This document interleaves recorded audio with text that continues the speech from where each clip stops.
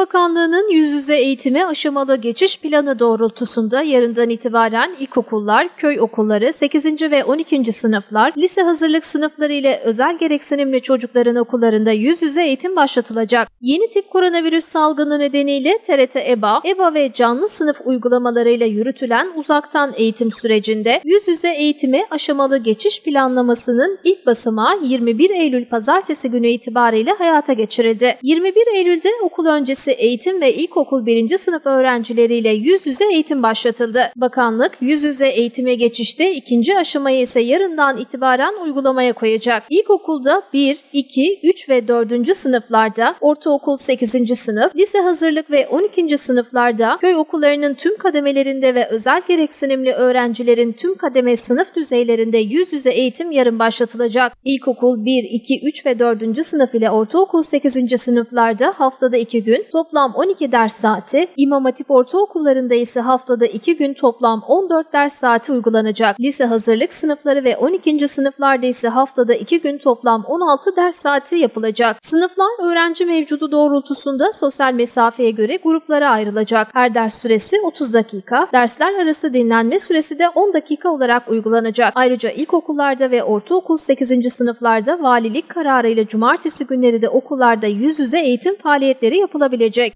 Okul öncesi eğitim kurumlarının tamamında ise haftada 5 gün ve günde 6 etkinlik saati olacak şekilde yüz yüze eğitim yapılacak. Lise hazırlık sınıflarında ve 12. sınıflarda ise haftalık ders çizelgelerinde gösterilen ortak, seçmeli ve mesleki derslerden okul yönetimince belirlenenler yüz yüze, bunların dışında kalanlar ise uzaktan eğitim yoluyla verilecek. Yüz yüze eğitim dışında kalan tüm dersler uzaktan eğitim yoluyla tamamlanacak. Uzaktan eğitimlerde bir ders süresi 30 dakika olarak planlanacak.